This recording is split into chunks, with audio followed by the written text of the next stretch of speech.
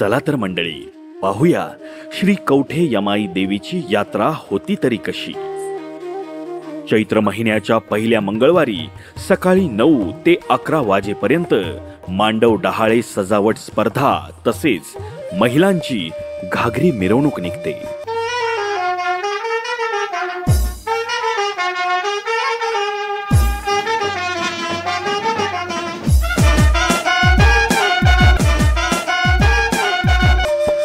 तदनंतर सकाळी अकरा ते दुपारी एक वाजेपर्यंत कीर्तन महोत्सव होतो. बाकी करू नका काही.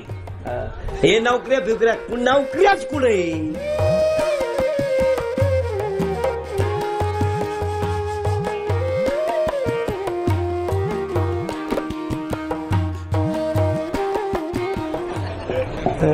आणि तरुण पिढीने स्वतःला पोट भरायची अक्कल आल्याशिवाय बायको करून करता कामा.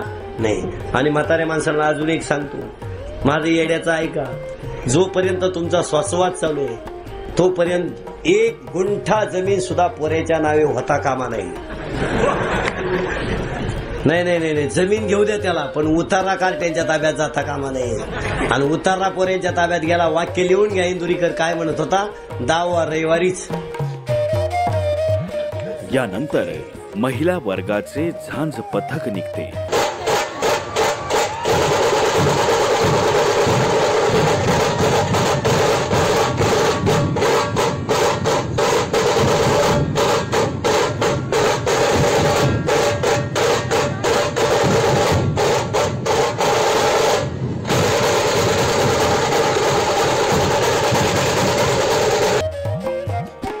सायंकाळी चार ते रात्री आठ वाजेपर्यंत देवीस शेरणी वाटप होते.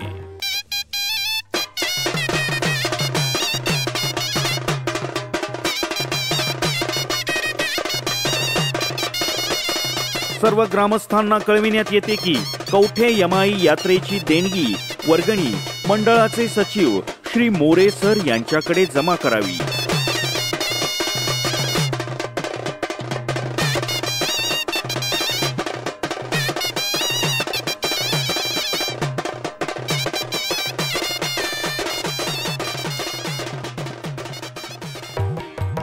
रात्री नऊ ते मध्यरात्री दोन वाजेपर्यंत मास्टर रघुवीर खेडकर सह कांताबाई सातारकर यांचा लोकनाट्य तमाशा मंडळाचा कार्यक्रम होतो.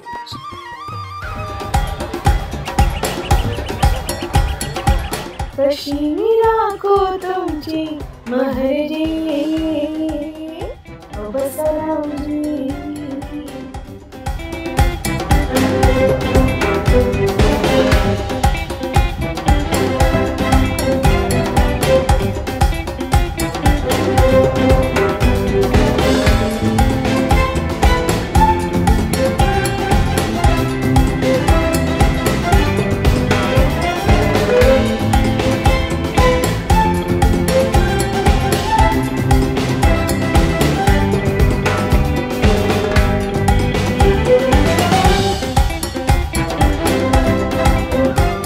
मंडळी अशा रीतीने ओतूर गावचे ग्रामदैवत श्री कवठे यमाई देवीची यात्रा संपन्न होते.